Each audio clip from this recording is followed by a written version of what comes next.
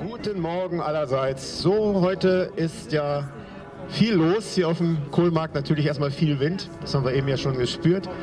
Aber wir haben heute äh, zwei zentrale Themen. Wir haben einmal den Fukushima-Jahrestag und dazu haben wir ja auch noch weitere Initiativen weiter südöstlich aus Wolfenbüttel und aus dem Bereich der Asse.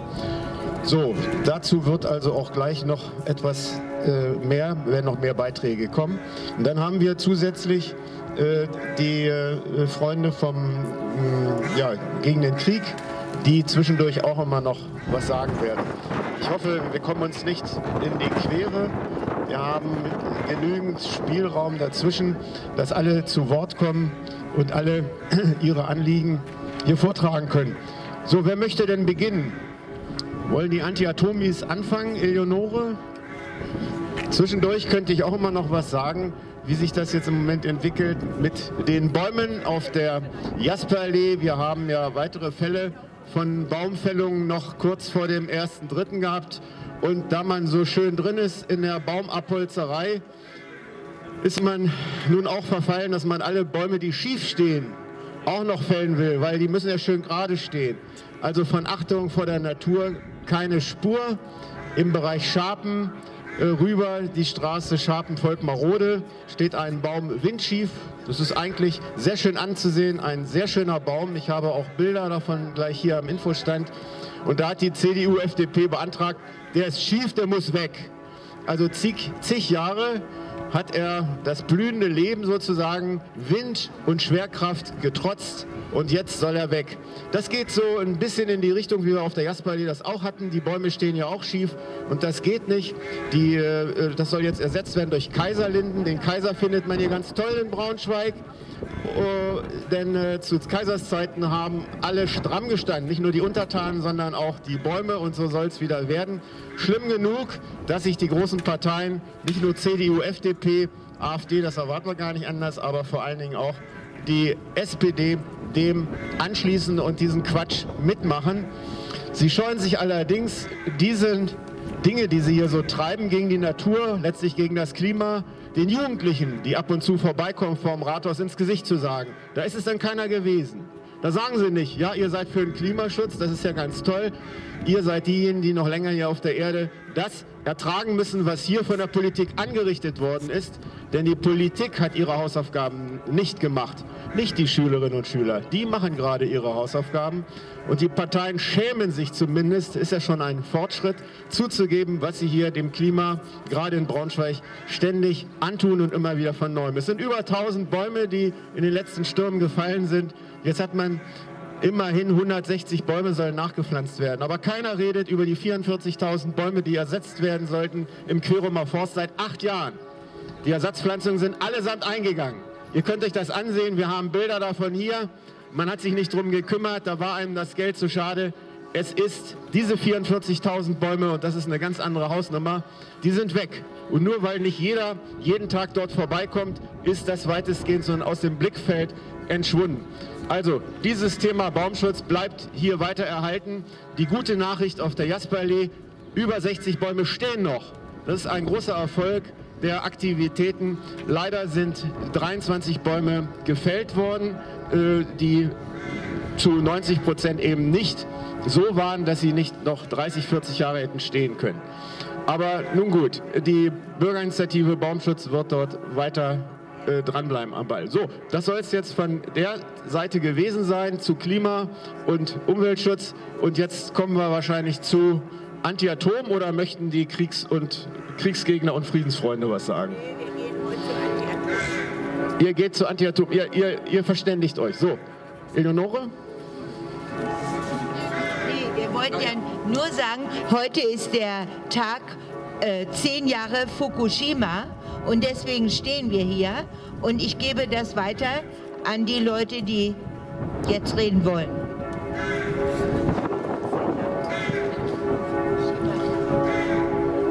Ja, mein Name ist Eleonore Bischof und ich bin von der Wolfenbüttler Atomausstiegsgruppe. Und äh, wir denken, das passt alles ganz gut zusammen hier, leider. Ähm, immer, wir sind aus der Atomenergie ausgestiegen. Das sind wir aber noch lange nicht. Es laufen noch die Atomkraftwerke und vor allen Dingen ist immer noch die Urananreicherungsanlage in Gronau tätig und die Brennelementefabrik in Lingen. Und die Brennelemente, die gehen an die Atomkraftwerke in Belgien, die Risse haben. Und weil die von uns weiterhin Brennelemente bekommen, müssen, wurden an die Bevölkerung in Aachen Jodtabletten verteilt. Das kann nicht sein. Und ich denke, wir, wir sind eine Region, die besonders betroffen sind, aber es sind ganz viele Stellen in Deutschland betroffen. Eingestiegen ist die Bundesregierung äh, in die Atomenergie ohne Landebahn, ohne zu wissen, wo sie irgendwann diesen Ewigkeitslast Atommüll lagern will. Es gab kein Endlager. Trotzdem wollte der Atomminister Strauß unbedingt die Atomenergie, nämlich er wollte die Atombombe. Das war sicherlich der maßgebliche Grund, warum das eingeführt wurde. Und dann bot sich dann irgendwann die alte äh, Schachtanlage Asse 2, das Salzbergwerk an, um da mal Endlager zu versuchen. Ein Versuchsendlager. Schon vor dem Kauf war klar, dass da Wasser einläuft. Es gibt ein Protokoll von einer Begehungs äh, von einer Begehung der Schachtanlage. Da steht drin, dass da Wasser einläuft. Aber was sehr reizvoll war, fanden sie damals der Preis. Es war so günstig, das alte Bergwerk. Und so hat man versuchsweise mal 126.000 Fässer eingelagert. Für einen Versuch 126.000 Fässer und die nachher abgekippt.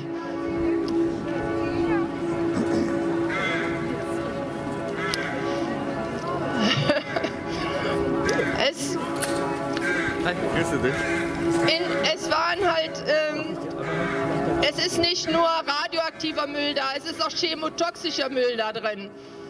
Da ist eine halbe Tonne, und zwar nicht so eine halbe Tonne, sondern 500 Kilogramm Arsen. Das ist kein Spitzenhäubchen. Wenn das ins Grundwasser kommt, dann äh, geht das schneller als mit Strahlung, dass Gesundheitsschäden oder mehr auftritt. Und wenn die Frau da eben sagt, dann holen Sie das doch da raus. Äh, es gibt keine gute Lösung für die Asse, aber die einzige Möglichkeit, diesen Müll unter Kontrolle zu bekommen, ist halt die Rückholung.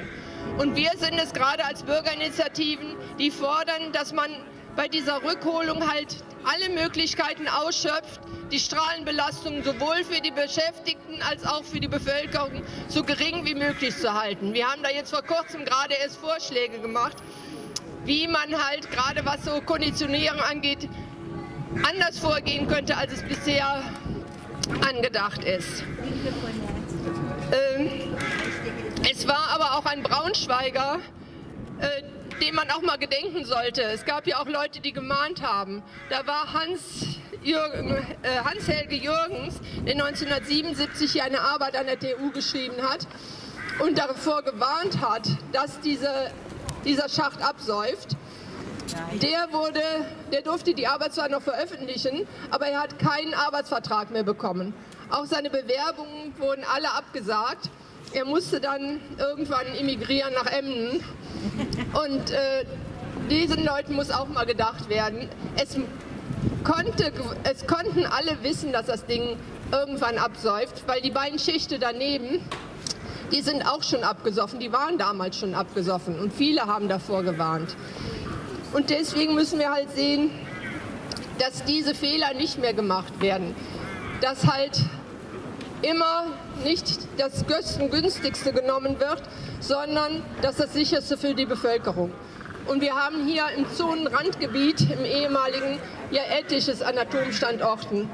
Da haben wir äh, in Morsleben, im ehemaligen, in der ehemaligen äh, DDR, das Endlager. Wir haben die Schachtanlage Asse 2.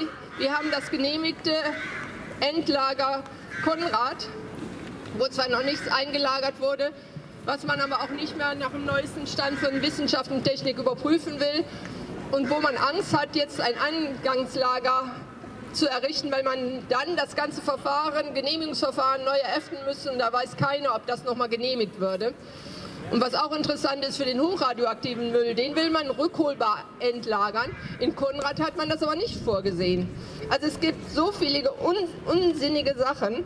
Und wenn man sieht, wie nah hier in, in Braunschweig-Thune Eckert und Ziegler an Wohnbebauung und an Schulen steht, dann ist das beängstigend. Das verstehen wir. Und es gibt da einen Stresstest von der Bürgerinitiative, wie die Ausbreitung wäre, wenn es da einen Unfall gibt.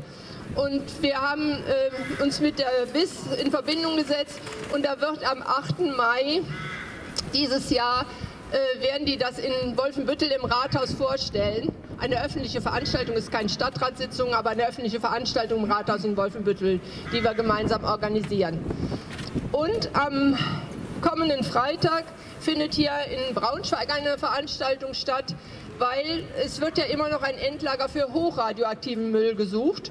Und da muss keiner denken, dass wir hier schon aus der Suche raus sind, sondern hier im Braunschweiger Land gibt es einen Tongürtel, der auch geeignet wäre für die Endlagersuche. Und so sind wir immer noch in diesem Suchverfahren drin, gerade weil hier die geologischen Daten bekannt sind. Die sind nicht überall in Deutschland bekannt. Aber da, wo sie bekannt sind, ist man natürlich dann noch im, Suchverfahren drin. Und da kommt eine Frau von ausgestrahlt hierher um 18 Uhr ans DGB-Haus. Äh, die Gewerkschaften rufen auch mit auf zu dieser Veranstaltung und die Bürgerinitiativen hier aus dem Bereich. Und da würde ich alle bitten, zu kommen Interesse zu zeigen. Und äh, wir, muss ich noch mal kurz gucken. Ähm,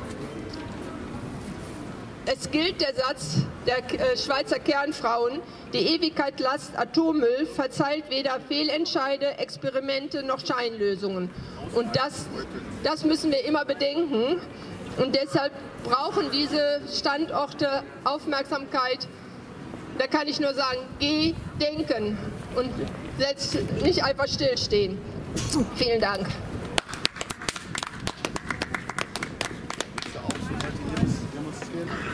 Also, ich wollte noch mal zurückkommen. Heute stehen wir hier, weil vor zehn Jahren in Fukushima das Kernkraftwerk, äh, vor acht Jahren, vor acht Jahren das Kernkraftwerk äh, kaputt gegangen ist. Das war eine Katastrophe, die ausgelöst wurde durch ein Erdbeben und ein Tsunami. Aber wenn man jetzt mal genau drauf schaut, dieses Atomkraftwerk hat im Grunde eine ganz veraltete Technik.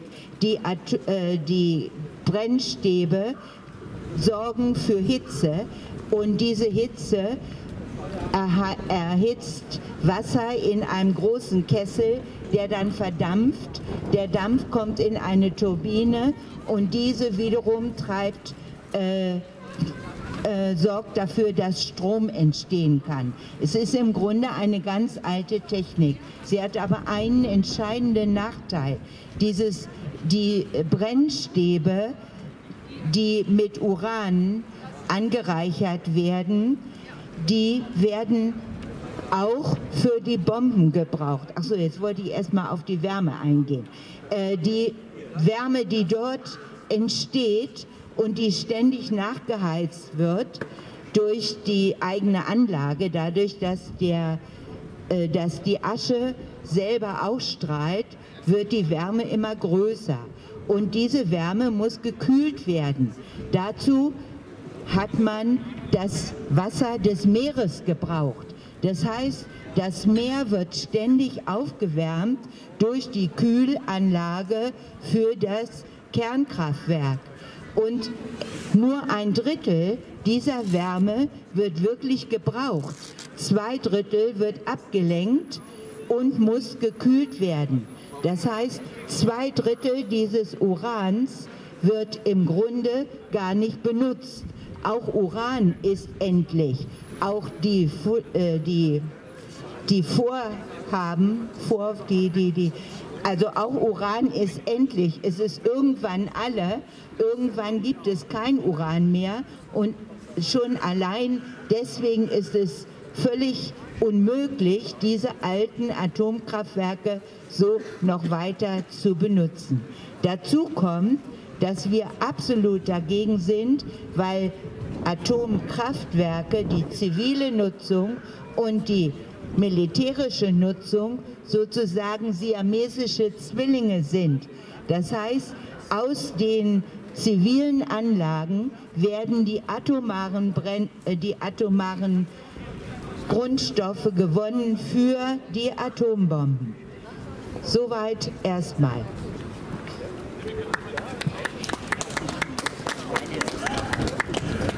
Ja, 1956 sind wir durch den Tschernobyl-Unfall von unserem Atomstrom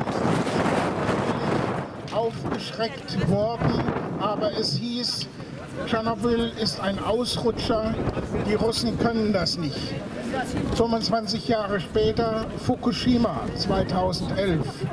Jetzt ist unsere Kanzlerin sehr erschrocken, dass es auch in diesem westlichen Land möglich ist, dass ähm, ein Kernkraftwerk explodieren kann und hat hier die Energiewende eingeläutet, auch wenn wir kein Tsunami zu befürchten haben. Der Vergleich zwischen Tschernobyl und Fukushima ist einmal so, äh, dass es beides die größten bisher nuklearen Unfälle sind auf der INES-Skala 7 als Super-GAU bezeichnet, GAU als größter anzunehmender Unfall. In Tschernobyl sind 30 Jahre vergangen und man weiß von Tschernobyl, dass die Halbwertzeit von Cäsium 30 Jahre beträgt. Das heißt, die Hälfte ist noch da. In Fukushima scheinen diese Gesetze nicht zu gelten, weil schon nach neun Jahren lädt die japanische Regierung in die Unglücksregion ein zu den Olympischen Spielen. Die Hauptsache wird zwar in Tokio stattfinden, aber Baseball- und Softball, Softball-Wettkämpfe werden in der Region Fukushima ausgetragen und auch die olympische Fackel wird drei Tage durch die Region gehen. Es ist für die japanische Regierung sehr wichtig, eine Imagefrage zu beweisen, dass man mit der Atomkraft und auch mit Atomkatastrophen umgehen kann. Aber es ist ein Spiel mit der Gesundheit der Athleten und der Besucher. Soweit erst. Äh, Bodo, Bodo, willst du was zur Bodo, wolltest du was zur japanischen Mentalität sagen, kurz? Ja. Natürlich, von Deutschland aus gesehen oder anderen Stellen der Erde könnte man meinen, äh, man, die Japaner scheinen gegen diese Problematik im Sinne eines Widerstandes nichts zu unternehmen. Das stimmt so nicht. Denn äh, die japanische Mentalität ist zunächst einmal orientiert im Sinne einer Ruhebewahrung und man stört eben durch Kritik nicht die eigene Gruppe. Das ist zunächst mal die Grundhaltung. Und wenn man sich die Situation gegenüber der Problematik Fukushima anschaut und die Atompolitik der japanischen Regierung, wird natürlich sehr schwierig, äh, gegen dieses Thema anzugehen, aber es gibt Widerstand. Es gibt Bürgerinitiativen, die sich bemühen, das Thema mit Kritik an die Öffentlichkeit zu bringen. Leider die, äh, werden diese Gruppierungen nur sehr bedeckt und fast eher gar nicht durch digitale oder Printmedien unterstützt. Wir haben Glück, dass das in Deutschland anders ist. Wir müssen ja schon eher aufpassen, dass keine reißerischen Slogans als Überschrift benutzt werden. Im japanischen Kontext gehört es dennoch dazu, dass man Widerstand leistet. Eine der deutlichsten Widerstandsdokumentationen ist eine Klage gegen die TEPCO-Firma diese Klage von der sogenannten Narivai-Gruppe ist im, bei den Gerichtsverhandlungen mit einem ersten Erfolg der Grundanerkenntnis, dass die TEPCO und auch die äh, japanische Regierung hier Fehler gemacht haben. Die zweite, die zweite Ebene weitergehender Gerichtsverhandlungen wird dahin führen, dass man sich einigt, jedem Bürger aus dem Gebiet Fukushima eine Grundsumme zu, anzuerkennen. Äh, ich versuche das mal mit dem Begriff gleichzusetzen, was jetzt zurzeit als Grundrente diskutiert wird. Ähm, das ist schlecht vergleichbar, aber als Orientierungssumme kann einem das helfen. Widerstand wird auch deutlich von Japanern demonstriert. Wir haben schon einige Male ein japanisches Ehepaar hier in Deutschland gehabt, Ken und Mako Oshidori, die natürlich vom Beruf her erst einmal Komiker sind. Aber es kann gar nicht komisch sein, wenn sie sich der Aufgabe stellen, die Problematik, die von TEPCO verschwiegen wird, an die Öffentlichkeit zu bringen.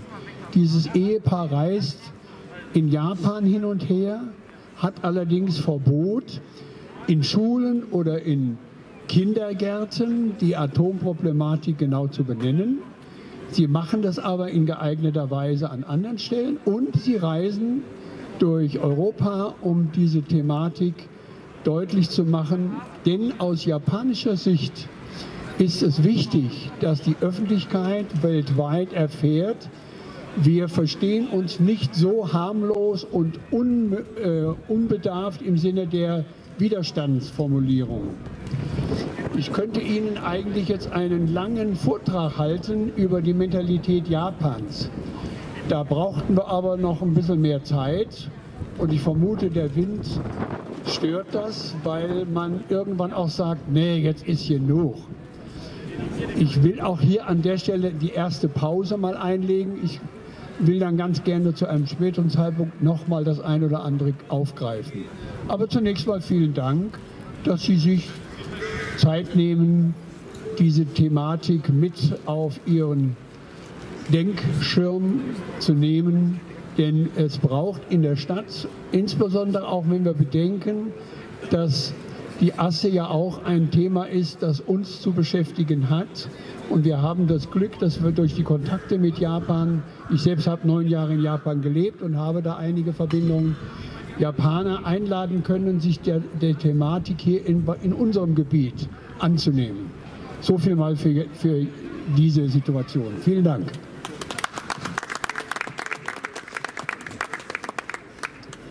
Ich bin Gudula Wegmann, ich komme vom Friedenszentrum Braunschweig. Und ich möchte gerne darauf hinweisen, dass der Schirmherr dieser Veranstaltung unser Oberbürgermeister Ulrich Markurt ist. Und unser Oberbürgermeister gehört, wie schon viele Oberbürgermeister vor ihm, seit, ich weiß nicht genau, jedenfalls mehr als 25 Jahren oder 20 Jahren zu den Mayors for Peace. Das sind die Bürgermeister für den Frieden.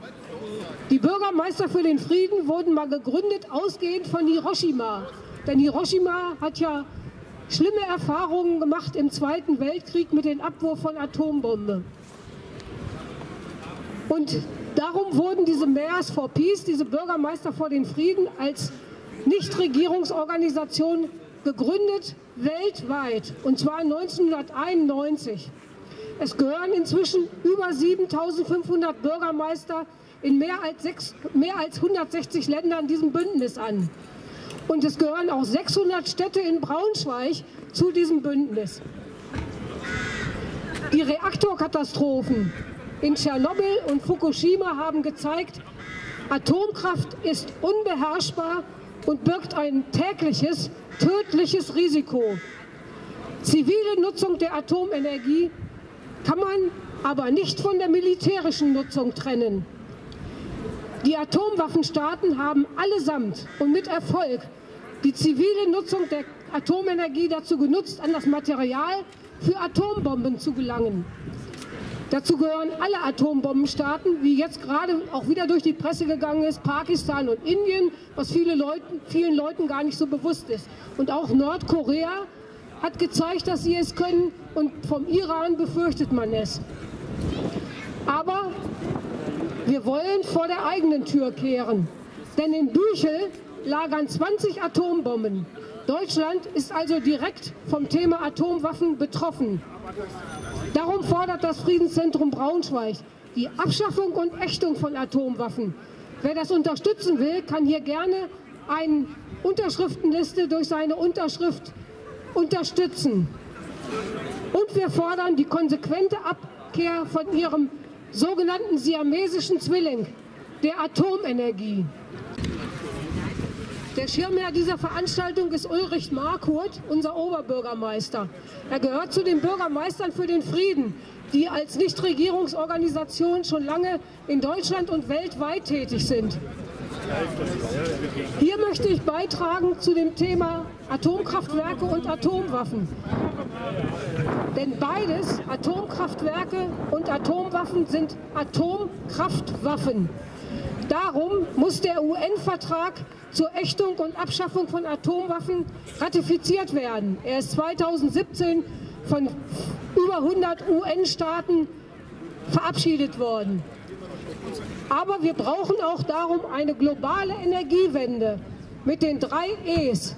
Mit dem E für erneuerbare Energien, für Energieeffizienz und Energiesparen. Dann ist Energiepolitik Friedenspolitik, denn es gibt keine Kriege wegen der Sonne oder des Windes. Dankeschön.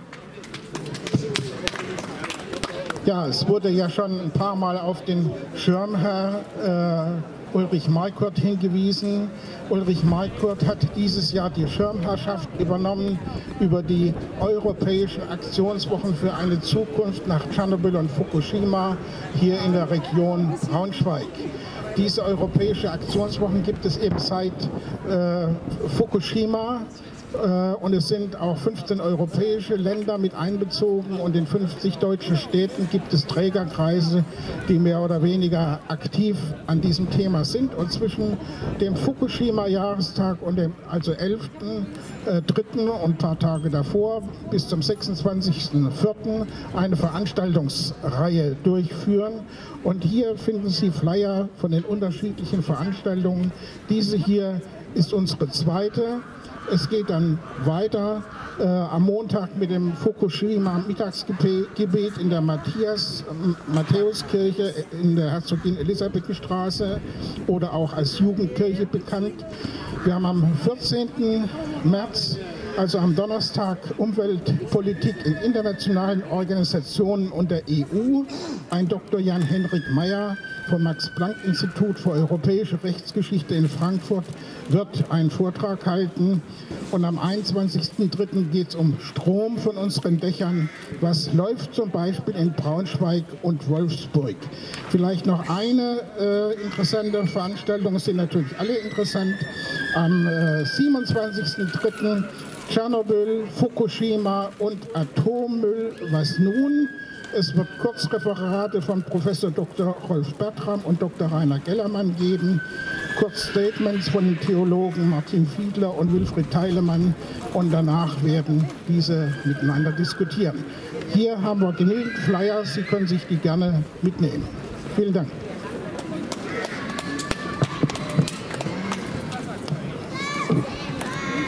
Wenn schon die ganzen Termine angesagt werden. Nächstes Wochenende ist wieder auch der Tag äh, Jugend für die Future, also Future Day, der Klimatag der Jugend. Sie demonstrieren in allen möglichen europäischen Städten. Es wird aufgerufen dort äh, völlig frei und außerparlamentarisch von allen möglichen Schulen und Jugendverbänden und so weiter auch in Braunschweig, also am 15.03. um 10 Uhr schon bereit, bereits vor, auf dem Schlossplatz, 10 Uhr auf dem Schlossplatz, nächsten Samstag, nein Quatsch, nächsten Freitag, nächsten Freitag.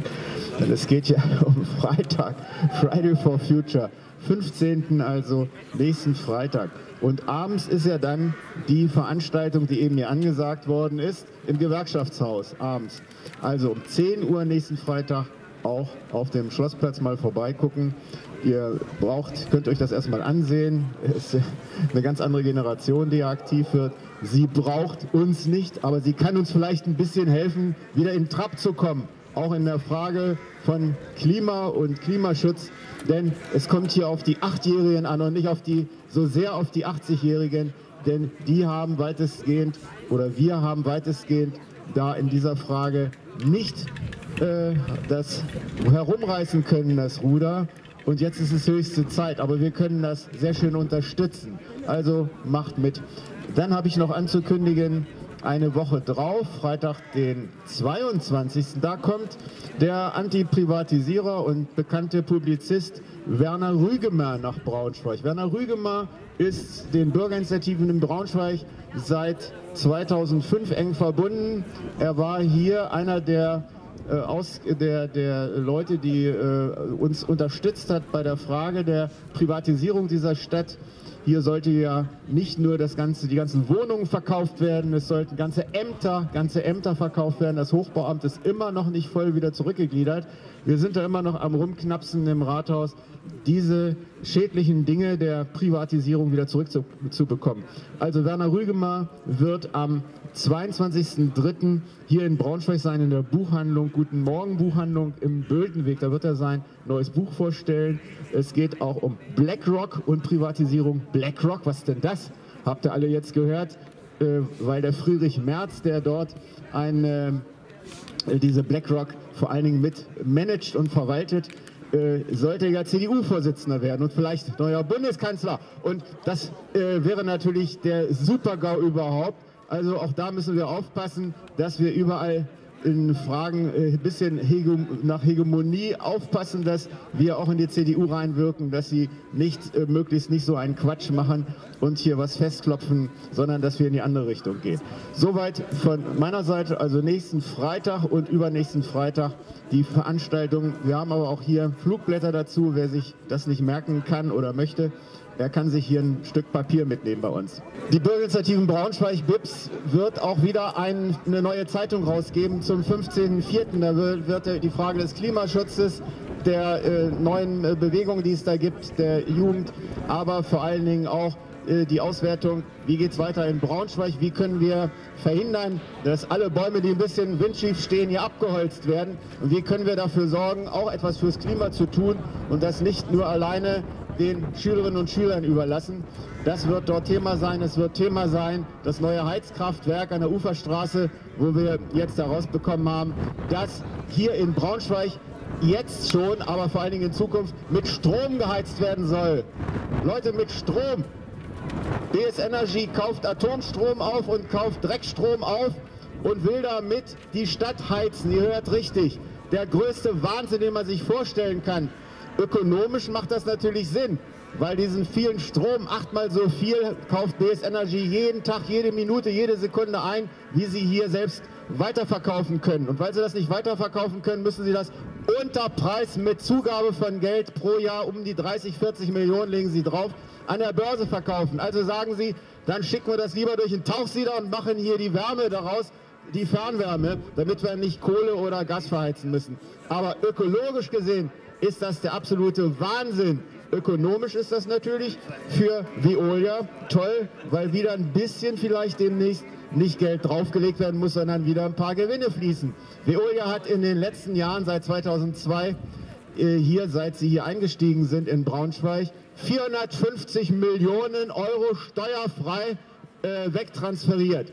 Das heißt, sie zahlen keine Steuern, weil die Stadt damals mitgeholfen hat, eine KG draus zu machen und die KG zahlt äh, da Steuer, wo der steuerpflichtige ansässig ist und das ist für Veolia nicht Berlin, nicht Braunschweig, das ist Paris oder vielleicht Luxemburg oder keiner weiß es so genau. Äh, so sieht die Sache aus. Jetzt wird das neue Heizkraftwerk gebaut, äh, vor allen Dingen ein großer Tauchsieder, das nennt sich äh, Elektrodenkraftwerk Power to Heat. Power, Strom to Heat, hört sich besser an, als wir verheizen Strom. Und dazu noch ein großes Kraftwerk, wo Müll verbrannt werden soll. Ihr hört richtig, Sperrmüll soll verbrannt werden anstelle von Kohle, weil den Sperrmüll kriegt man auch weitestgehend kostenlos. Natürlich kriegt man den kostenlos. Das Ganze gilt übrigens auch noch als regenerativ. Regenerativ, weil man ja keine Kohle verbrennt, keine fossilen äh, äh Stoffe verbrennt. Das ist erstmal, wäre erstmal soweit gut. Äh, raus aus der Kohle zu gehen. Nur, ob das die tolle Idee ist, Strom einerseits zu verheizen und andererseits ein Kraftwerk mit Sperrmüll dann dazu noch zu stellen, äh, bis hin übrigens zu Bahnschwellen sollen dort verheizt werden. Dachstühle, Sperrmüll, eine Vereinbarung oder ein Vorgespräch mit Alba hier in Braunschweig hat es schon gegeben. Das wird euch nicht so richtig erzählt. Da müssen wir mal wieder kommen mit der eigenen Zeitung. Also das wird aufgearbeitet.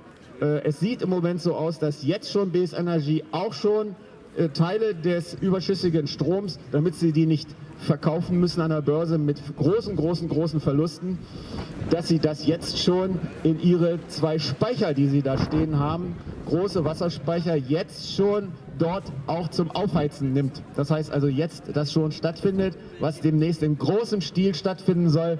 Strom soll in die Stadt Braunschweig heizen. Der Wahnsinn für eine innovative Stadt. Was hat das mit Innovation zu tun? Wir waren dabei, dass wir gesagt haben, keine Nachtspeicheröfen. Strom ist zu wertvoll, als es einfach zu verheizen.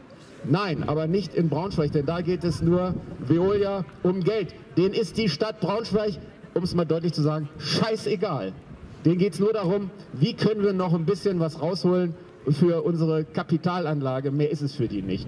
So, aber äh, ich will ja nicht alles euch erzählen, was in der Zeitung steht, sonst lest ihr die nachher nicht mehr. Die kommt dann am, äh, äh, vor, eine Woche vor Ostern oder in der Osterwoche kommt die raus. Ich danke euch. Ja, das war jetzt zu den Stadtwerken äh, Braunschweig. Da gibt es auch eine kleine Ergänzung.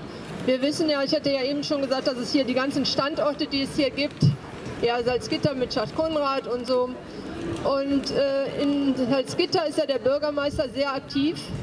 Die Stadt Salzgitter ist ja auch in der AG Stadt Konrad, der Bürgerinitiative dort. Was ja sehr gut ist, dass sie da aktiv sind. Da sind unsere Kommunalpolitiker ja etwas lahm, was die Asse angeht. Die interessieren sich dann nicht, im Gegenteil. Die fordern da ganz krude Sachen zur Asse. Aber äh, ich wollte was zu den äh, Stadt, äh, das sind nicht die Stadtwerke in Salzgitter, aber der äh, Energieversorger der Stadt äh, Salzgitter, die WEVK. Und da ist der Vorsitzende des Aufsichtsrates der Bürgermeister, Herr Klingebiel. Und wenn man sich dann mal anguckt, wie da die Stromversorgung ist, da ist der Atomstromanteil überproportional hoch. Und dann haben wir dann mal angeschrieben, haben gesagt, das kann doch nicht sein, wenn man sagt, hier, wir wollen nicht den Atommüll, wir wollen nicht, dass noch mehr Atommüll produziert wird, muss man das dann auch sagen. Und wieso nimmt man denn dann Atomstrom? Und da wurde uns geschrieben, ja, das würde alles stimmen mit dem hohen Anteil, aber der Strom soll ja auch bezahlbar bleiben. Und das kann ich dann nicht mehr nachvollziehen. Wenn man sieht, was die Asse kostet, das ist und was uns die Endlagerung vom hochradioaktiven Müll kosten wird, dann ist das kein billiger Strom. Das ist nicht preisgünstig und das finde ich echt unmöglich. Das kann ich nicht nachvollziehen. Das ist so, ja, nicht möglich. Das sollte ich nur mal anbringen. Und dass wir alle zusammenhalten müssen mit den verschiedenen Standorten, weil äh, die Strahlung, die macht nicht nur nicht an Landesgrenzen halt, sondern auch nicht an Stadtgrenzen, Kreisgrenzen. Wir müssen da einfach als Standorte zusammenhalten und sagen, so geht das nicht Politik. Genau. So. Javier. So, wir springen ja von einem Thema, Thema zum anderen. Ich will euch auch nicht vorenthalten, was euch ein bisschen äh, schon Geschmack, äh, auf den Geschmack bringen für die neue Zeitung. Was natürlich dort auch eine Rolle spielen wird, ist, wir haben eine Reihe von Presseanfragen an die Städte Wolfsburg, Braunschweig gerichtet und an die Flughafengesellschaft. Denn, stellt euch vor, die Flughafengesellschaft ist, war pleite schon 2017 und ist nur durch einen Trick hier erstmal mit einer Million zusätzlich unterstützt worden, damit man Insolvenz abwendet. Es gibt ein Gutachten, welches unter Verschluss gehalten wird.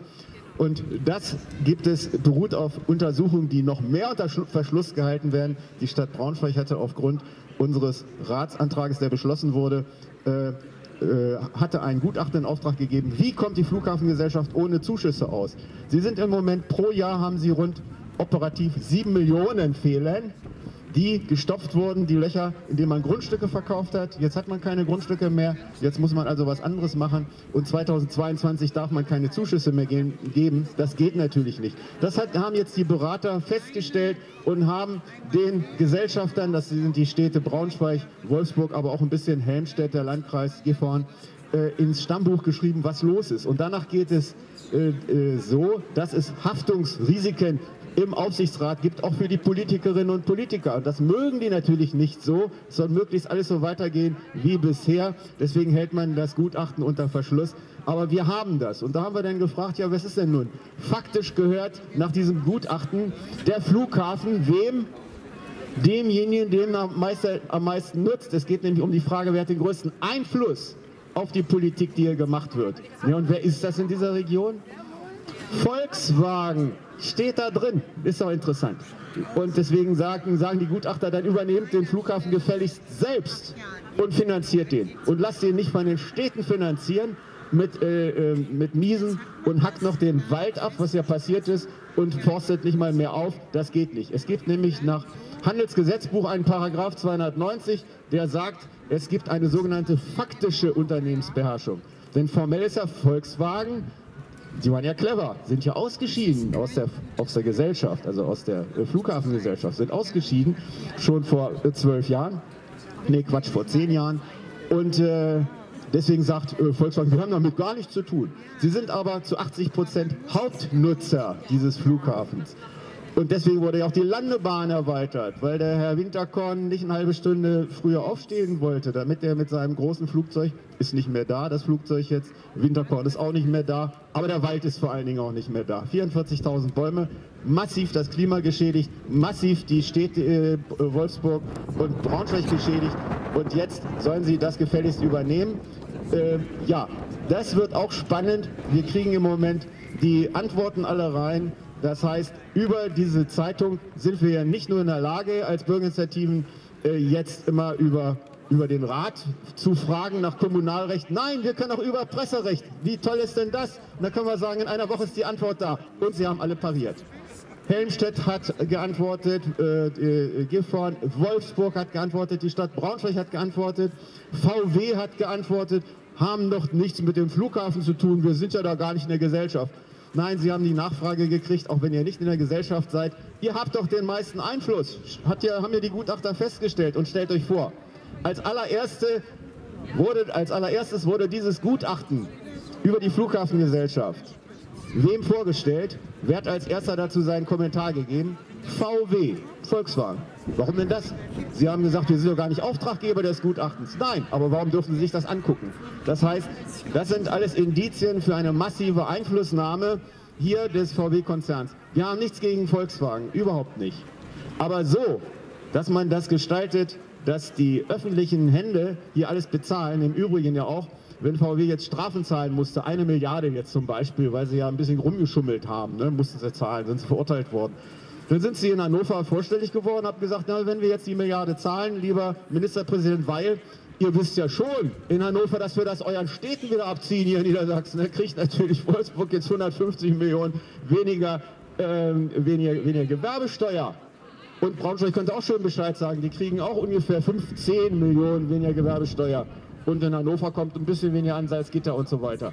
Das heißt, die, die Konzerne, in diesem Fall Volkswagen, hält sich schadlos dann und gibt das eins zu eins äh, weiter an die Städte. Das Defizit, was da entsteht. In Wolfsburg ist es inzwischen so groß, sie hatten früher so viel Geld, die, sind im, die konnten Rücklagen bilden. Inzwischen haben sie nichts mehr und sie wissen nicht mehr, wie sie ihren Haushalt finanzieren sollen. Und das ist natürlich schade, weil die äh, Wolfsburg ja zu einem großen, überwiegenden Anteil von Volkswagen abhängig ist. Wovon finanzieren die denn jetzt ihr schönes Bad? Und die allen Dingen, wir gönnen es ja den Wolfsburgern, aber das hat, haben die, hat die Bevölkerung nicht verdient. So, und alles nur wegen Schummelei und wegen einer Politik, einer kriminellen Politik. Das ist kriminell gewesen, das ist festgestellt worden. Auch in den USA, da dürfen sich die VW-Manager gar nicht mehr sehen lassen, dann werden sie gleich eingesperrt. So sieht die Sache aus. Hier ist, versucht man das so ein bisschen zu kaschieren. Also äh, seid gespannt auf diese Frage. Jetzt geht's los nochmal mit dem Flughafen. Wir müssen dafür sorgen, dass wir die Ersatzpflanzungen 44.000 Bäume bekommen. Wir müssen dafür sorgen, dass es aufhört, dass die Stadt, äh, dass, dass jedes Jahr ein Defizit entsteht von sieben, über 7 Millionen oder rund 7 Millionen, will ich übertreiben, 7 Millionen sch schlimm genug, sondern dass, dass diejenigen dann auch zahlen, äh, müssen, die den Vorteil von dem Flughafen haben. Und diesen Vorteil hat zu 80 Prozent, das ist in dem Gutachten auch festgestellt worden, Hauptnutzer ist Volkswagen und niemand anders. Dann sollen die das auch natürlich bezahlen. Nicht, weil wir sie ärgern wollen, sondern weil es äh, darum geht, zahlen müssen die, die den Nutzen davon haben. Oder wenn sie was angerichtet haben, dann müssen sie auch dafür gerade stehen. Ja, das nur noch mal auch als Vorgeschmack auf die nächste Zeitung. Also seid gespannt.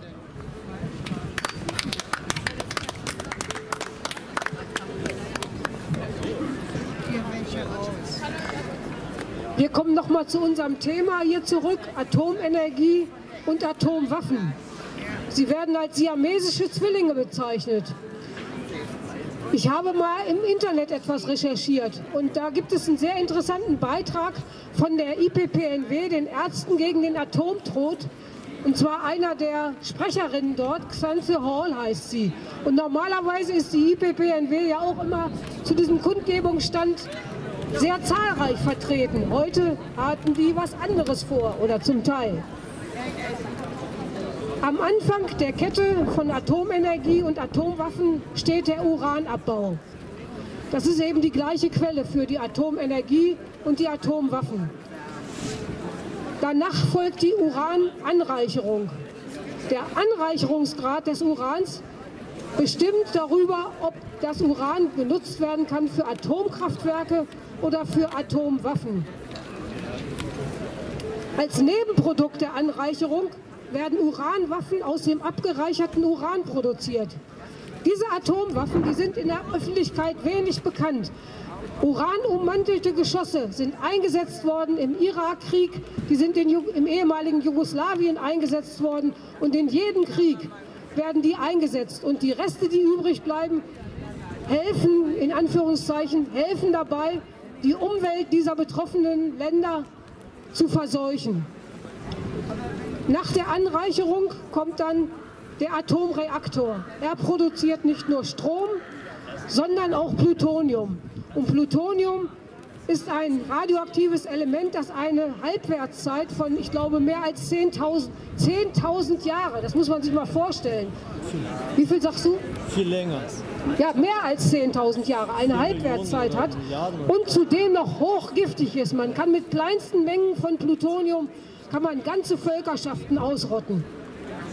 In der Wiederaufbereitung wird Plutonium aus abgebrannten Elementen herausgetrennt. Atomwaffen können entweder mit hoch angereichertem Uran oder mit Plutonium gebaut werden. Solange Atomwaffen existieren, können sie zum Einsatz kommen. Entweder im Krieg, wie in Hiroshima und Nagasaki geschehen, oder bei Atomtests oder auch versehentlich. Und am Ende der Kette, da bleibt dann der Atomabfall, der radioaktive Fallout oder der Atommüll, mit dem wir in der Region hier ja reichlich zu tun haben. In der Asse, in Morsleben, dann in Wiederaufarbeitungsanlagen, die in Europa sind. Und Europa ist so klein. Wenn da irgendwo was schief geht bei uns in Europa, dann können wir alle sehen, wo wir als Flüchtlinge bleiben. Darum setzt euch ein gegen Atomenergie und gegen Atomwaffen. Dankeschön. Ich habe gerade mit jemandem gesprochen, der meinte, er hätte einen guten Standort für den Atommüll, den Bundestag. Da kann ich auch eine Fortsetzung zu machen. Es wird ja häufig davon gesprochen, der Assemüll. Oder jetzt stand in der Einladung der sogenannten Asse 2 Begleitgruppe, hatte die Landrätin geschrieben, die Asseabfälle. Das sind keine Asseabfälle. Die Abfälle sind nicht in der Asse entstanden. Die kamen überwiegend aus Jülich und Karlsruhe und sie gehören der Bundesregierung. Der Bundesregierung gehört die Schachtanlage Asse 2 und der gehört auch der Müll. Und im Artikel 14 Grundgesetz besagt, Eigentum verpflichtet. Das heißt, die Bundesregierung ist verantwortlich dafür, wirklich eine absolut gute Lösung dazu zu finden.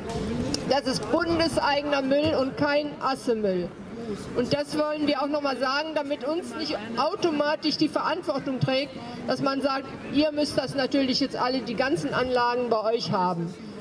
Nein, da muss man nach einer besseren Lösung suchen, dass nicht wie hier in Braunschweig das mit äh, gleich an Wohnanlagen ist, wie in, bei Eckert und Ziegler. Das ist untragbar und das würde, würde in der Asse auch untragbar sein. Und wie gesagt, wir sind da nicht verantwortlich für, sondern das hat die Bundesregierung zu verantworten.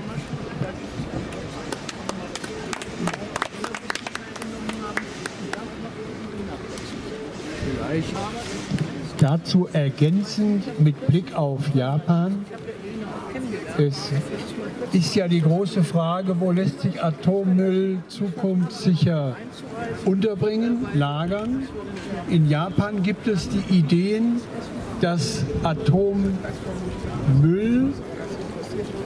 kontaminierte Erde auf Dauer in den Straßenbau investiert wird. Investiert wird, damit man diese ganze Sache gut unter die Erde bekommt. So viel hat man schon verstanden. Es muss wohl unter die Erde. Bestrahlende Straßen. Und natürlich hat man dann wahrscheinlich strahlende Straßen. Aber man kalkuliert ja auch die Halbwertzeitenberechnung und denkt, das ist in zig Jahren erledigt. Ähm, vielleicht kann ja die Bundesregierung auf die Idee kommen, das auch in Deutschland so zu machen. Ich vermute oder hoffe sehr, dass dann mehr Widerstand aus der Bevölkerung ähm, erzeugt wird. Denn die Bevölkerung sollte im Eigeninteresse immer wieder mit dem Auge haben, was geschieht mit Atommüll kann der zukunftssicher gelagert werden. Da gibt es unterschiedliche Diskussionsstränge. In Japan gibt es die auch, aber mit weniger Öffentlichkeitsinformation.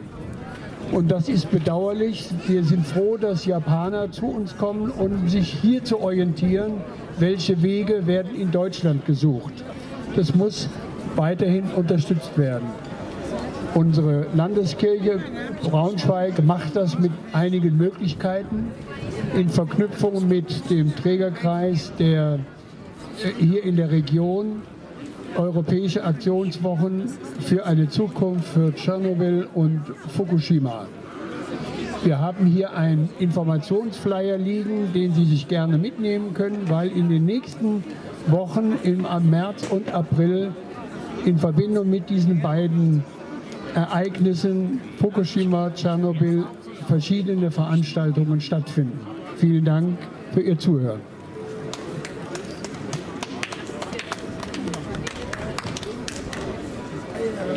Hier an unserem Tisch werden Kraniche gefaltet. Und zwar sind die ein Sinnbild dafür, dass Menschen nicht sterben müssen an, infolge von radioaktiver Strahlung. Als die Bombe in Hiroshima und Nagasaki gefallen sind, sind viele Menschen verstrahlt worden, sind daran gestorben, sie sind krank geworden.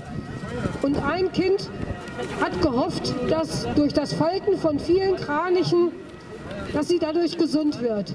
Ich weiß gar nicht, ob das Kind wieder gesund geworden ist, aber es hat jedenfalls Hoffnung gehabt durch dieses Falten von Kranichen. Sie ist mit zwölf Jahren gestorben, höre ich gerade. Also wer sich dafür interessiert, für diese symbolhafte Handlung Kraniche falten und sie vielleicht auch verschenken an Menschen, die krank sind, der kann sich hier am Tisch an Brigitte wenden. Dankeschön. Danke dir.